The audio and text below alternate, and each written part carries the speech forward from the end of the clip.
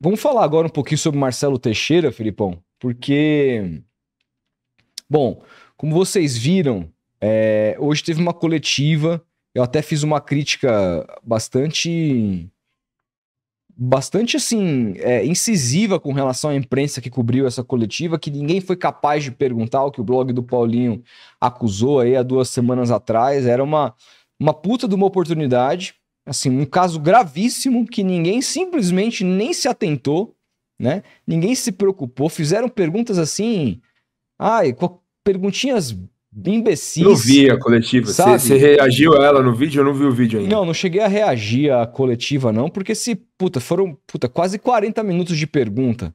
Foi Só a dainha. Entendeu? E ninguém perguntou isso. Mas é, eu separei aqui dois trechos da coletiva que o Marcelo faz antes de, de enfim, de é, abrir para perguntas, ele faz uma espécie de relatório ali de seis meses, envolvendo várias áreas do clube, o que, que ele pagou, deixou de pagar, o quanto ele diminuiu de folha, etc. Fez ali um, uma passada pelos seis primeiros meses de gestão, tudo que ele fez, deixou de fazer, etc. Aquela coisa também que o cara vai dar só os pontos positivos e não vai falar dos negativos, a gente conhece bem. Mas entre uh, as questões que foram passadas, ele, ele, mostrou um pouco de como anda a negociação com a W Torre pela arena, a nova arena da Vila Belmiro. E aí, vamos ver aqui quais são os pontos que ele destacou da negociação com a W Torre. Tá, vou abrir aqui o React. Uh, não sei se está dando para enxergar, vou até ampliar aqui, agora ficou melhor. É, é nessa, nesse canto esquerdo aqui. Que ah, não é o vídeo? É, é um, eu, vou, eu vou passar daqui a pouco e explicar para vocês. Mas assim, uh, o Santos, é, essa parceria entre Santos e W Torre começa uh, na gestão José Carlos Pérez. Uh, e ela se estende à gestão Rueda. Quando o, o Rueda entrega para o Marcelo Teixeira, tinha sido assinado um MOU, que nada mais é que um memorando de intenções.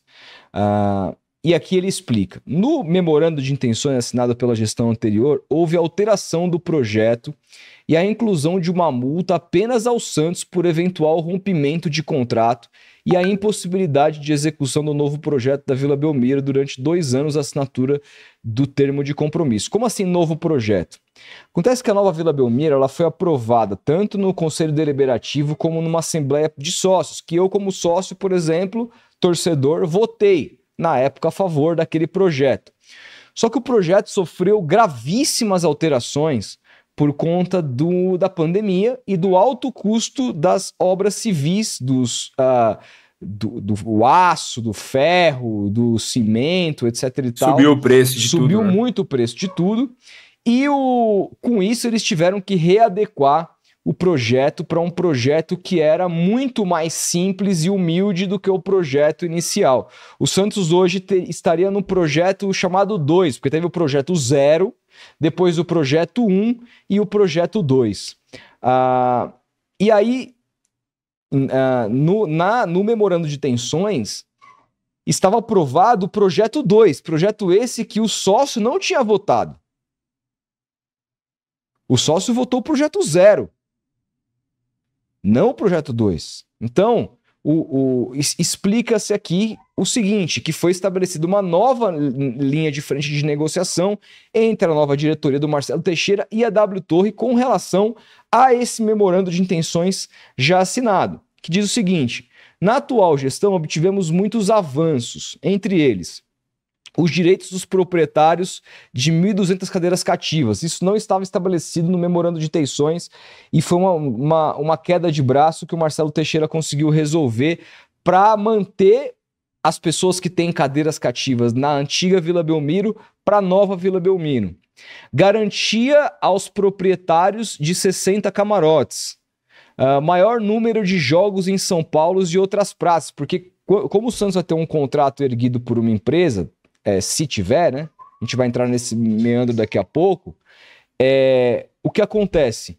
o, o Santos vai ter, não vai poder jogar quando bem quiser em São Paulo. Ele vai ter que cumprir uma cota de jogos em São Paulo e uma outra cota de jogos na Vila Belmiro, na Nova Arena. E o Marcelo Teixeira pleiteou por mais jogos em São Paulo do que estava previsto no memorando de intenções assinado pelo Rueda. Essa foi outra vitória. E a última aqui, direitos a camarotes para o clube conceder a seus patrocinadores. Tudo isso foi, foram é, questões que o Marcelo Teixeira conseguiu resolver com a W Torre, mas no próximo slide ele coloca questões aqui que não foram ainda resolvidas entre Santos e W Torre. Que aqui, ó, é, o Santos aguarda a aprovação do conselho da, da W Torre. Isso aqui estaria nas mãos da W Torre para ela aceitar ou não. Que é tabela de repasse de receitas do clube. Isso aqui não está nada claro. Não se sabe qual que é a tabela de repasses que, que o Rueda acertou com a W Torre e qual que é o modelo que o Marcelo quer.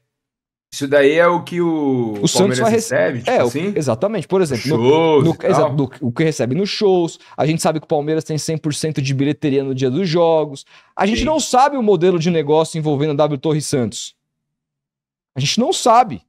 Entendeu? Então. E, e, nem sabe se a W Torre vai ser a construtora, né? Não, e nem sabe. Eu, vou, eu, eu vou, chegar lá, mas assim. A, a, hoje o Santos só negocia com a W Torre porque tem um memorando de intenções assinado. E que se o Santos romper, o Santos tem que pagar uma multa. É, porque isso foi assinado pelo Rueda.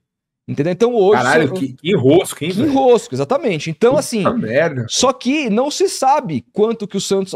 Quanto que o Rueda acertou de receber de repasse por jogos, eventos e match day, lojas, estacionamento, etc. O Marcelo Teixeira, pelo visto, não gostou, porque é uma das coisas que ele está brigando né, com a W Torre.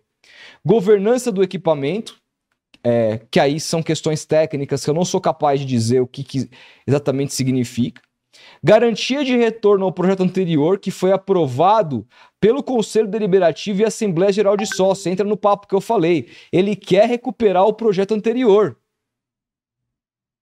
Ele quer que o projeto que foi aprovado pelos sócios e pelo Conselho Deliberativo seja novamente o, o, o, o, estádio que a, W Torre, a W Torre erga, e não esse estádio mequetrefe que depois eles resolveram é, é mudar o projeto. Será que não Entendeu? tem política nesse meio, não, cara? Tipo, de do Marcelo Teixeira tá postergando isso para não querer que tenha o dedo de outro ex-presidente do Santos que foi o pai da criança, assim, digamos. Eu acho que não. Ou não. Eu acho que não. Ou é mais não... uma questão eu técnica acho, mesmo. Eu acho que não é por aí. O que eu acho é que é o seguinte, cara. Na minha visão, não há o interesse de seguir com a parceria claramente, mas não por causa disso especificamente. A gente vai saber o motivo mais pra frente. Eu acho que pareceria muito pequeno. E, ah, e querer ser ah, o pai cara. da criança. Não, não, ah, não. Eu duvido, cara. Cara, Dirigente de futebol, cara, você é louco. Eu não, eu não acredito nisso, cara. Eu não acredito nisso. Eu acho que é, é, até porque quem vai assinar é ele, quem vai derrubar é ele, quem vai dar cartada final é ele. Ele já acertou várias outras coisas com a W Torre que ele pode falar, oh, foram, fomos nós que acertamos isso. Então, não acho que seja exatamente por isso, mas não vejo de fato boa vontade no Marcelo Teixeira em ter a arena. E para mim esse ponto aqui, garantia de retorno ao projeto anterior, para mim inviabiliza o projeto. Porque a gente está falando de um projeto que inicialmente valia 400 milhões de reais e depois foi para 600, 700. Para manter o projeto em 400, 450 milhões de reais, tiveram que tornar outro projeto muito mais barato, um outro estádio. Então, como que vai retornar para aquele projeto? Como que os caras vão simplesmente topar e investir mais 200, 250 milha no estádio? Eu duvido. E eu acho que isso Mas aí a boa, a boa vontade você acha que é de quem, do, da falta de boa vontade do Santos ou da, da W Torre? Eu acho que do Santos. Eu acho que do Santos. Do a W Torre quer fazer o estádio. A W Torre quer fazer o estádio, mostrou para o Rueda todas as condições, quando ele ainda era presidente, e assinou o memorando de intenções com multa. Então, o Rueda tinha a intenção de fazer esse estádio nos moldes que o memorando de intenções. É, agora, a negociação do Rueda foi péssima. Foi péssima. Por quê? Por quê? Porque ele, Por quê? Primeiro porque ele aceita que mude-se um projeto que o sócio votou. Ele sempre falou: nada vai ser erguido aqui sem aprovação do sócio. O sócio apoia um projeto, aí os valores sobem, ele muda o projeto e, e assina uma porra do memorando de intenções que o Santos tem multa se sai do negócio. Peraí, Nossa, é qual, qual que era o, o, rito ali? Gente, mudou o projeto. Vamos ter que passar por uma nova assembleia de sócios. O projeto agora não é o A, o projeto agora é o, não é nem o B, é o C. Vocês querem isso aqui? E isso não foi feito. Isso não foi feito. Não foi feito. Simplesmente ele não assinou, foi feito. simplesmente ele assinou. assinou. Ele assinou. E aí não dá para mudar mais. Assim, o, o que dá para mudar é o Santos tem uma multa. A gente não sabe quanto que é essa multa. Se o Santos é, quiser abrir mão, se o Santos quiser abrir mão do conteúdo da WTO, vai ter que pagar alguma coisa. Quanto é? Não sei. Vai ter que é, pagar. Mas hoje o Santos não pode ficar gastando Exa esse dinheiro. Exatamente. Também, né? Enfim, temos aqui negociação de repasse dos naming rights, outra coisa que não tá, ninguém sabe quanto a W Torre pede, quanto que tá no MOU, quanto o Santos pede. Fala aqui de negociação, mas ninguém sabe números. Entendeu? E por fim, direito de superfície do patrimônio do Santos. Isso é uma outra coisa absolutamente importantíssima que também ninguém sabe os valores, quanto está estabelecido, quanto a W Torre é, pede e quanto o Santos agora pleiteia no, no, no Marcelo Teixeira. Qual que é assim, a, a, olhando para tudo isso aqui, qual que é meu feeling? Não vai sair negócio. Cara, esse direito de superfície aí tem que ver direitinho, hein? O Palmeiras quase se enroscou por causa disso Exato. Aí, e aí, Felipão? Quase se enroscou. Não vai sair negócio. Aqui tem, assim, ele colocou outras coisas aqui que são muito mais fáceis de se acertar, cadeira cativa, camarote para só. Isso aqui é parte fundamental do negócio, tabela de repasse de receitas, é, garantia do projeto anterior que é muito mais caro do que o projeto atual. Isso representa muito mais dinheiro, sabe? Nego é, repasse dos naming rights. Então, assim, para mim, a como diz o ditado, a arena subiu no telhado. Não vai acontecer nesses moldes. Não vai acontecer. Se, e, e, assim, se não acontecer com a W Torre, não vai acontecer em nenhum outro lugar, porque não acreditem. Ah, porque o Marcelo Teixeira tem construtora, vai montar um pool de construtora. Assim, a, com todo respeito, a construtora do Marcelo Teixeira, assim, é, não chega no, no, no calcanhar da W Torre em termos de poder. Constrói prédio, né? Entendeu? É uma outra parada. Escola, faculdade. E outra, outra cara. Estão com obras paradas, é uma puta de uma bagunça. Então eu não acredito, eu acho que isso aqui, eu, eu sim, simplesmente acho que a partir da gestão Marcelo Teixeira, e assim, também por culpa do Rueda, que fez um contrato sim ruim com a W Torre, e todo mundo teve aqui a sua culpa. Tem o pai da criança, mas assim, tem vários pais da criança para o estádio não acontecer. E os é, pais da criança para o estágio não acontecer são Rueda e Marcelo Teixeira. O Marcelo Teixeira tinha duas opções. Tem duas opções. Ou você ergue a arena do jeito que está assinado, nem que você, para isso, passe por uma outra assembleia de sócios, mostre os números e fale: é isso que você quer, sócio? Decide aí. O, contra... o MO é esse: a gente tem uma multa para pagar que o Rueda assinou. Ou a gente paga a multa, ou a gente ergue o estádio do jeito que está. O que, que o Santos deve fazer? Deveria ser uma assembleia de sócios. Ou, ou ele faz isso, ou ele decide por fazer a arena. Agora, decidir por não fazer a arena, uma coisa aprovada pela Assembleia de Sócios, e que ele não vai conseguir fazer uma outra arena com uma outra empresa, porque não há propostas disso, é simplesmente manter o Santos com a Vila Belmiro e com seu patrimônio ali do ostracismo por muito tempo. Então, não tem, nada, não tem nada a ver essa questão com o name rights que ele acertou agora. Nada né? a ver. Inclusive, assim, ele vai explicar melhor. Ele disse na coletiva que vai explicar melhor essa história do name rights sexta-feira, que é quando ele deve fazer uma outra coletiva para falar a respeito disso, especificamente disso. É, ninguém sabe o que vai acontecer com os naming rights enquanto a Vila Belmiro estiver no chão. Mas o que dá para saber é que nenhuma empresa vai fechar naming rights com um clube que não vai poder utilizar, vai ficar dois anos lá, é só, só o pó. Dois anos, é três anos. Isso que eu ia falar, pô. Que, que, qual sentido tem dessa, de, desse fechamento de name right agora então, com essa é empresa mais... que tem um, por, que tem um porquinho? Você viu que eles já mudaram o porco, né? Tiraram o porco do site. É foda. Então, tem, tem essa empresa aí, aí o Santos aprova, se acerta com a W Tour aí derruba o estádio e vai ficar lá o, o nome da empresa numa obra. Não, então, Porra. e aí assim, o que, o que se especula, mas até agora é só especulação, que nesses dois anos esse name right viraria patrocínio de camisa e outras coisas, enquanto. Mas ninguém sabe, tudo isso vai ser explicado sexta-feira. Essas perguntas terão que ser respondidas. Agora, para mim é um sinal claro, sinal claro, esse, essa conversa com Viva Sorte, Name Rights, de que a Vila Belmiro não vai, ah, não vai ser reformada. Não, esse contrato com a W Torre não vai sair. Não vejo a, a W Torre abrindo mão de, dessas questões aqui absolutamente fundamentais que é a gente isso, mostrou para vocês. Não vejo, não é vejo. Isso, esse, esse name rights diz tudo, pô. É isso. Como que vai ser fecha um name rights e derruba o estádio? Pois é. Pois não é. faz sentido nenhum, pô. Nenhum, cara. E é isso. E aí, mais, mais uma vez, o Santos tendo na iminência de ter um novo estádio, uma nova estrutura, podendo se e aí, assim, eles, né? eles apresentam um projeto, Felipe, com todo respeito, novo, uma reforma que eles querem. Ele, o Santos tem um terreno na entrada da cidade de Santos, que é o terreno do CT Meninos da Vila, que é um CT que está aos ratos. Né, falando português, claro. E eles querem fazer uma grande reforma junto a um terreno do lado que é do IML, que foi concedido para a cidade de Santos. Eles querem unir os dois terrenos e fazer um novo CT de base, com base em incentivo fiscal. O Marcelinho Teixeira já fez lá uma é, reunião com o ministro dos esportes para isso, etc e tal.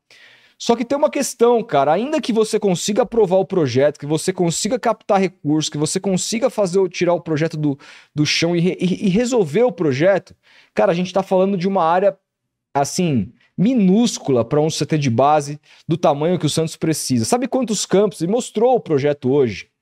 Quantos campos vão caber? Hum. Dois campos. Sabe quantos campos tem o CT de base que o Red Bull Bragantino montou recentemente? Quantos? Nove campos. Porra. É Palmeiras isso. fez um é, também, é. acho que em Vinhedo.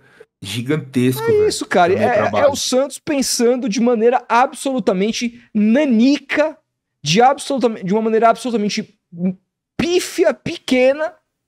A base é a única coisa que o Santos tem para poder competir com os Sempre principais teve, né? rivais, né? cara. E vai ter, um, e vai ter um, um, CT de dois, os caras querem CT, e anunciam isso como se fosse uma coisa maravilhosa.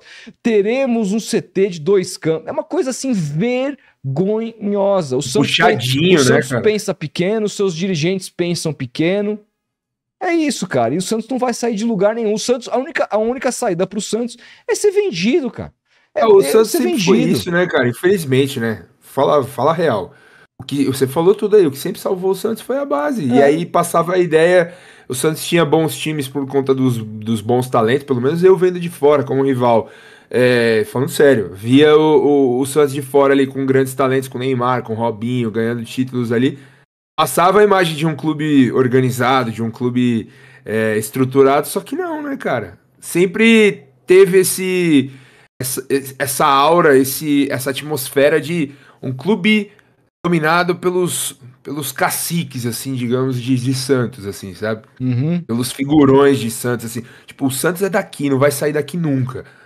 E não adianta bater o pé, e aí é isso, cara. Fica preso a, a uma cidade que é pequena e, e você não tem a possibilidade de crescer, né, cara? Exatamente, é cara. É Exatamente. Então é, é isso. Infelizmente, é o Santos entregue aí a mão, as mãos de pessoas absolutamente despreparadas que utilizam-se do Santos para ter mais sucesso em seus projetos pessoais, essa é a verdade. E tem gente, tem muita é. gente aí aplaudindo os, os, Teixeirinhas da vida, as trupes do Teixeira estão aí na internet, estão aí. Tudo que ele faz batendo palma, aplaudindo que é o grande cara. Cara, isso é, isso é vergonhoso, né, é cara? Vergonhoso. Eu quero ver isso é no é dia eu, eu, quero ver no dia se o Neymar fecha com o Flamengo, eu quero ver. Eu quero... ontem, eu tava, ontem eu tava te falando aí no, no estúdio aí sobre a época que o Palmeiras estava o Beluso, que a gente entrevistou, tava tentando aprovar o projeto do Arias e ele contou aí também no nosso podcast como foi difícil convencer aquela trupe de, de, de velhos que ficavam no Palmeiras ali empacando o crescimento do Palmeiras, chefiados por Mustafa Contursi, vamos dar nome aos bois. Como foi difícil para convencer. O Beluso mesmo contou a história aí do, do, do conselheiro que tentou se jogar no meio da, da obra para impedir que derrubassem o Palestra Itália e fizessem o Allianz Parque. E olha aí o que o Palmeiras virou hoje, graças também ao Allianz Parque. Então, é isso. É, é um pensamento muito pequeno, cara, que pequeno. é o que eu falo, cara. Dirigente de futebol, passou da hora aqui no Brasil de dirigente de futebol ser profissional, velho. Não tem mais essa de, ah, é o pai da criança, etc. Você sumiu isso, da tela aí, já velho. era, cara. Você sumiu da tela aí, você desligou a câmera, o que, que você fez? Agora Não, voltou. Voltei. Voltou. Bati o dedo aqui sem querer. Mas é isso, cara.